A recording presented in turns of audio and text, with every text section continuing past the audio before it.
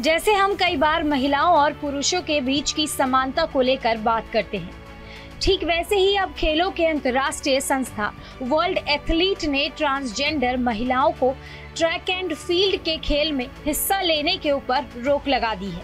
साथ ही फिना यानी international swimming federation के तर्ज पर ये फैसला किया गया है। दरअसल फिना एक इंटरनेशनल तैराती संस्था है। पिछले साल 2022 जून महीने में ही फिना ने ट्रांसजेंडर महिलाओं को स्विमिंग में हिस्सा लेने पर रोक लगा दी थी। और अब कुछ महत्वपूर्ण तथ्यों को देखते हुए ट्रांसजेंडर एथलीटों पर अंतर्राष्ट्रीय टूर्नामेंट में भाग लेने पर भी रोक लगा दी गई है। अब जानते हैं कि क्या है इसके पीछे का कारण और ये नए नियम कब से लागू होने वाले हैं। दरअसल वर्ल्ड एथलीट का मानना है कि ये बैन शारीरिक लाभों को ध्यान में रखते हुए किया गया है। जैसे पुरुष और महिला एथलीटों के लिए वर्गीकरण के रूल होते हैं। इसी वर्गीकरण को नज़र में रखते हुए ये नए नियम बनाए गए हैं।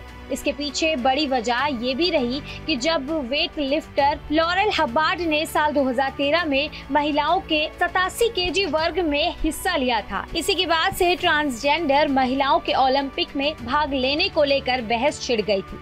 लॉरेल ने पुरुष के वेट लिफ्टिंग मैचों में हिस्सा लिया था। बाद में वो ओलंपिक में हिस्सा लेने वाली पहली ट्रांसजेंडर एथलीट बनी थी। हब्बार्ड ने हार्मोन रिप्लेसमेंट थेरेपी का सहारा लिया था।